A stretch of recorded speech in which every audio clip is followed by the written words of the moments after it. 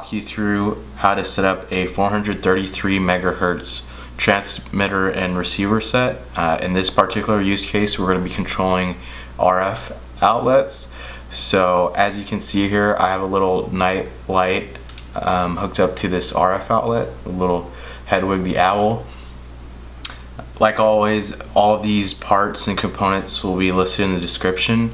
You're going to need the six female to female jumper cables, a 433 megahertz transmitter and receiver set, a Raspberry Pi, as well as um, an RF outlet pair.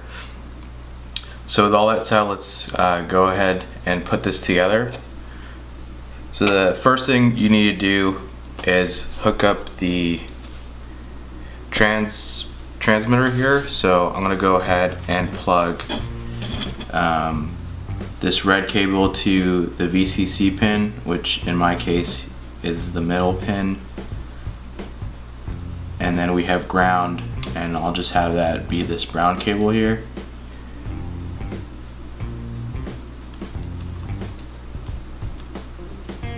And then finally the data pin will be this orange pin.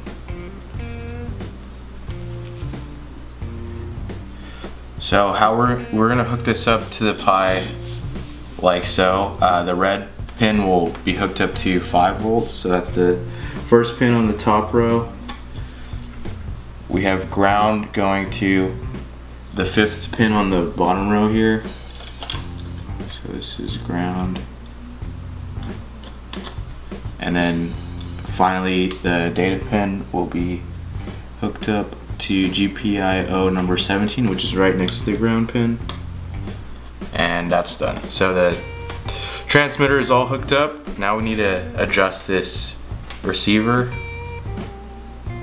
Um, there, as you can see here, there's four pins, but we're actually only going to use three of them.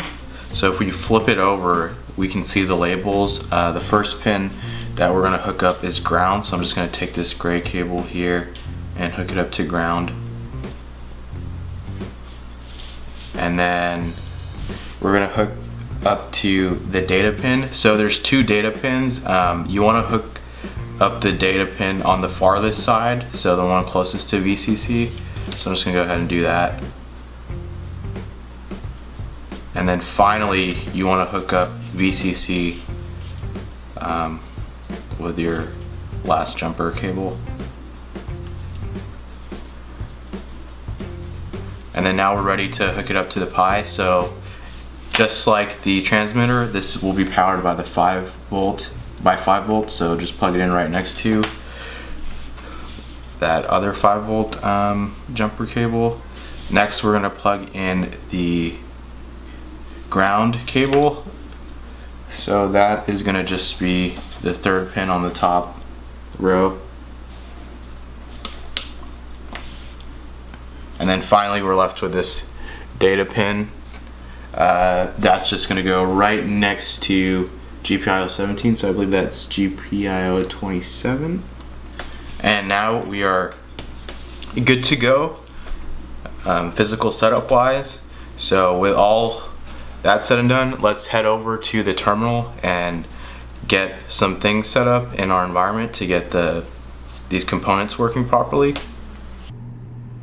So I'm over here on my other computer now and I've just launched a browser, navigated to pypi.python.org and this is the rpi-rf uh, package.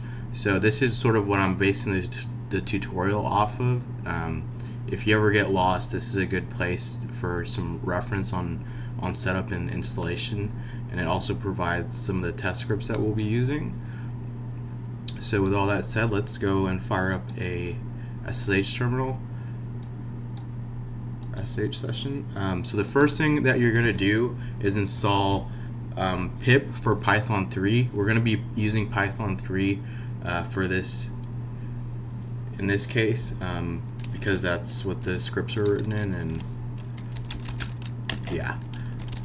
So type in sudo apt get install python 3 dash pip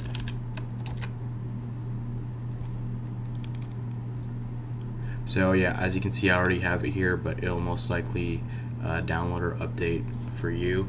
So then after that's done, go ahead and type sudo pip3 install rpi-rf. So similar case here, I already had it installed, but now that that's done, we can go ahead and import the send and receive Python scripts. So I've already done that. If I do ls, you can see here, uh, I have the receive and send script. So the first thing we need to do is go ahead and map the on off codes for that particular outlet. Um, so I'm just going to type Python Python 3 um, receive dot py. Now, as you can see, it's listening for uh, the codes here. If I hit the on button, we should get a code. So there, there you go. You can see that I pressed the on button and the light turned on and we are given three different um, sets of information. The first being this unique like uh, integer value and then we have a pulse length and protocol number. So if I press the off button for that particular outlet, we should also see a similar code. So there you go. You can see that I pressed off and the this integer value right here changed as well as the pulse length, but however the protocol number um, stayed the same. So we can hit Control C to stop the script. So now you're given several options. You can jot down all these numbers for later use. I actually recommend that. But now we're going to feed it into the, the send script, uh, this information here, these three values, and then it should turn on or turn off uh, based on which uh, code sequence we send. So if we do python 3 send.py, okay, um, we're given this error, so we didn't supply it with any information. So what we need to do is supply it with pulse length, protocol, and code. Uh, we don't really need these two right here. Um, so I'm going to go ahead and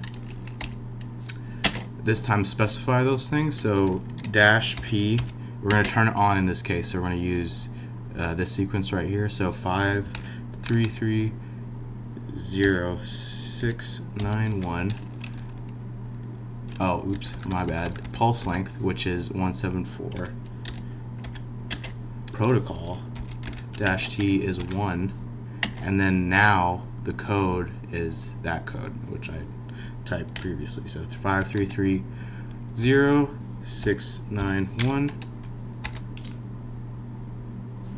And as you can see, it sent that sequence and the light is on. And then if we send the off code here, 173 dash or 1 and then this code is 700 it should turn off the light. And there we go. So that's essentially um, you know the quick start guide of how to get the RF or interact with RF's uh, devices with the Raspberry Pi. You can definitely edit the send uh, script to sort of have those values sort of baked in um, and then sort of automate some stuff around your your house or your place. Uh, just a just a note from my experience uh, these this method of interacting with sort of analog devices which aren't easy to automate it's a very cost effective way to, to essentially implement a smart outlet um, and also the range is pretty good because you don't really need line of sight. It'll penetrate through most uh, materials so that's really cool. And yeah I hope you guys enjoyed the tutorial today. Uh, like and comment and I hope you subscribe as well. It's always appreciated and stay tuned for more upcoming videos. Peace